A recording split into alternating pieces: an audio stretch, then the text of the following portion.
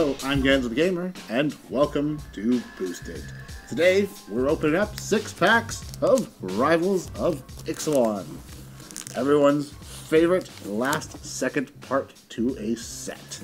So, without further ado, let's crack into it.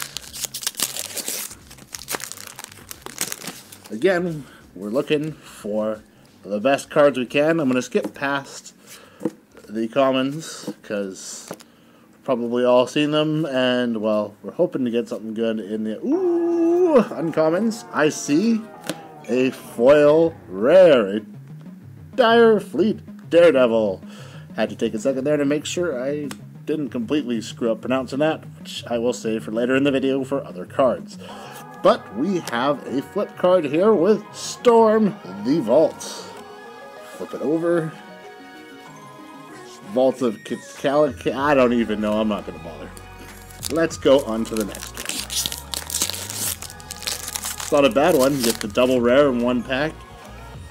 It's never a bad day when you get the double rares. Ooh, ooh, these are my favorite cards in the set. The lands that should be common. Yeah, if you can't tell, they're not my favorite at all. I'm bitter about them. Masterminds Acquisition. Nothing fancy. Forest. Sorry guys, I was sorting cards off camera there. Let's crack into the next one. Do do do. Get past the common. Uh, I love the merfolks. I'm sure if you watch any of my other videos, you're sick of hearing me me love the merfolk so much, but I just do. Alright, let's see. Oh, oh, Zetalpa Primal Dawn. And a flip card thingy, but not a flip card. Alrighty. Almost halfway through the packs. Will I get another foil rare? Odds say probably not. Ooh, I see a foil hiding back there. But, let's see. Ooh, Admiral Order, but it's a foil swamp. It's kind of nice to get a foil land. Ooh, and a forest. Swamp and forest. Sounds like some kind of bad, like, cartoon team. It's swamp and forest. Fighting crime together in the multiverse of magic. The I don't know. This is falling apart quick. Let's just go into the cards. Alright, more uncommons. Through to the uncommons. Oh, Dire Fleet Poisoner. And another misleading flip card marker with no flip card. So, three packs remaining.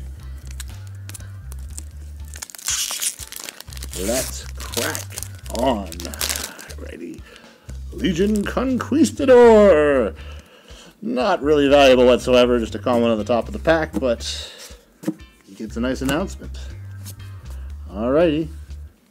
What do we have here? Ark of Orazca. Which is just a land. Don't know what it's sitting at. But, two packs remaining. Look at that vampire. Look at that vampire! That vampire tells me that we're going to get hosed. That's what it tells me. Alrighty. Let's see what we got.